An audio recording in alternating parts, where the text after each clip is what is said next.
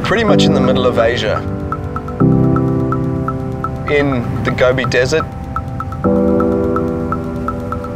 We're in Mongolia, about 600 kilometers south of Ulaanbaatar at Oyu mine site.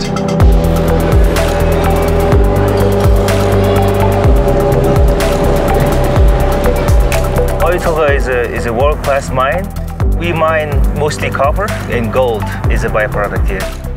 Part of the process, of course, of, uh, of mining is, is crushing that rock. And obviously, when they crush it, it's very sharp. So for us, it was very important to deliver something that gave them the absolute best in terms of wear life performance, and the Linatex molded impact panel system certainly did that.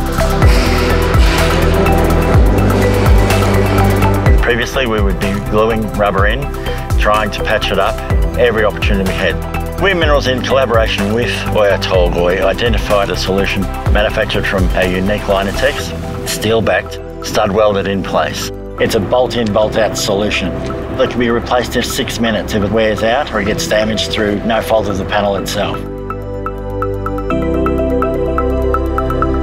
It improved safety significantly. We, we basically had to go into the underfloor tank every five weeks.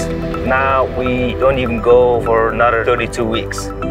It significantly reduces the material costs associated with changing out too frequently. On the cost side, most importantly, it enabled us to produce more copper.